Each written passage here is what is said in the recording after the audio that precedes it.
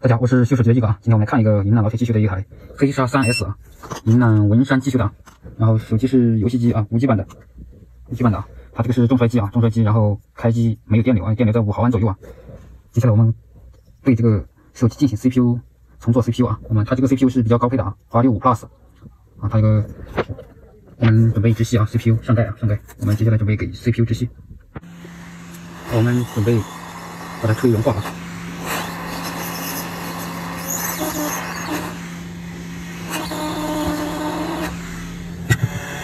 好，接下来我们轻轻的把钢网揭掉啊，然后我们再给这个 CPU 做一下复位啊，吸给这个刚刚纸上的锡做一下复位啊。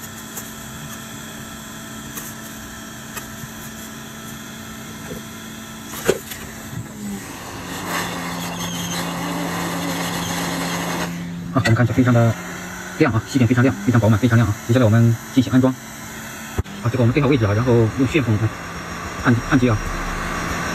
因为旋风的话，它受热比较均匀，焊接起来比较安全一点。要旋转式的啊，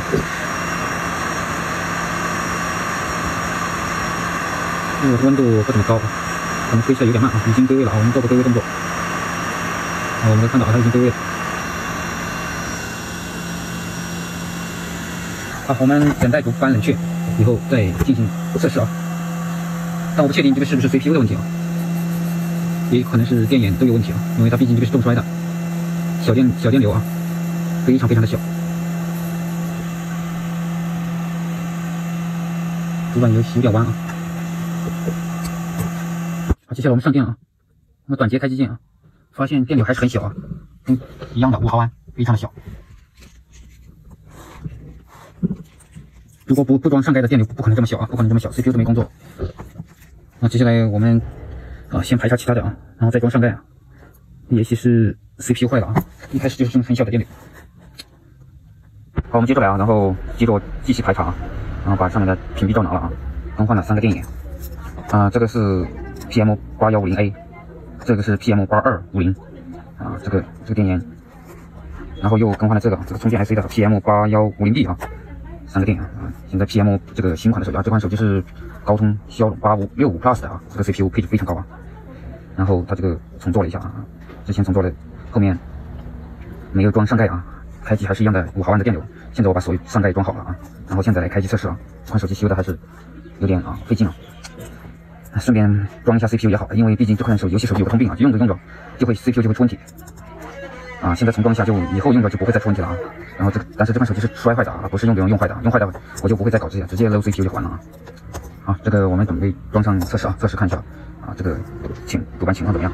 因为它这个地方它是双供电的啊，双供电的啊，必须要安在用电池才可以啊，这才可以知道正不正常啊。我们准备安装啊，这一步我们把主板装进去了啊。这个黑色三 S 这主板有点难装啊，线太多了，这个天天线啊，五 G 版的啊。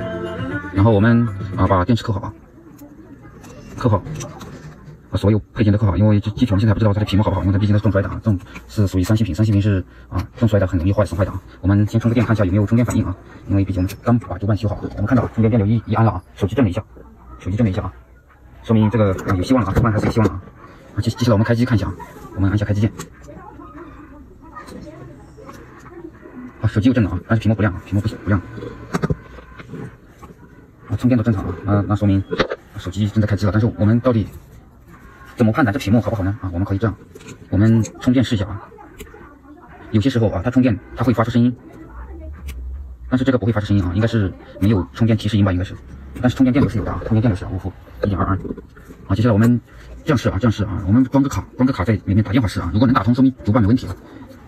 我们把我我把我自己的卡拿出来试测试一下啊。我们装进去啊。啊，可能要等一会儿啊。还是没反应啊！我们我们拿拿个电话来打来试一下啊。好，我拿另外一个手机啊，打来试一下，试一下手机能不能打通电话啊，有没有信号？我们看到啊，我们听到有手机会响啊，啊，说明这个屏幕坏了啊，但是屏幕不会亮。